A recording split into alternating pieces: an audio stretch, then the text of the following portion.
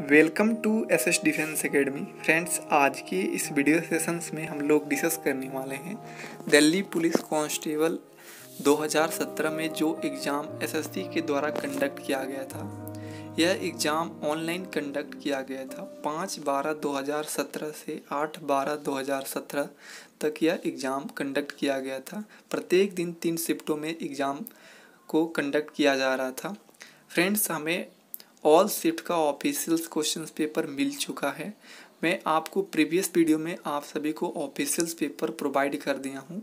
यदि आप उस वीडियो को नहीं देखे हैं तो आप मेरे प्लेलिस्ट को ओपन कीजिए। वहाँ दिल्ली पुलिस कांस्टेबल और एमटीएस के नाम से एक प्लेलिस्ट मिलेगा। आप उसको ओपन करेंगे तो वहाँ पे सभी जितने भी दिल्ली पुलिस का एग्ज़ाम हुए हैं, चाहे वो कांस्टेबल हो एमटीएस हो हेड कांस्टेबल हो, सबका वहाँ पे ऑफिशियल क्वेश्चंस पेपर मिल जाएँगे।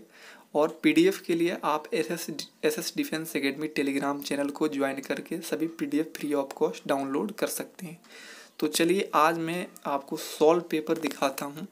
आप इस पीडीएफ को डाउनलोड करके खुद से एनालिसिस कर सकते हैं, क्योंकि ये आने वाले एग्ज़ाम के लिए बहुत ही हेल्पफुल होगा।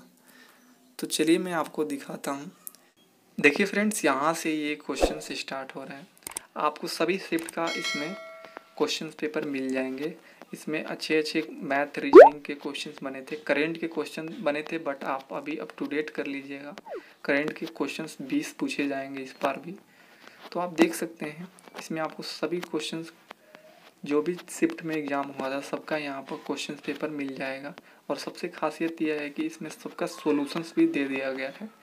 तो ये एग्ज़ाम एनालिसिस के लिए बहुत ही इम्पोर्टेंट्स होगा। तो इस पीडीएफ को डाउनलोड कीजिए और रीड कीजिए। आज के लिए इतना ही। Thanks for watching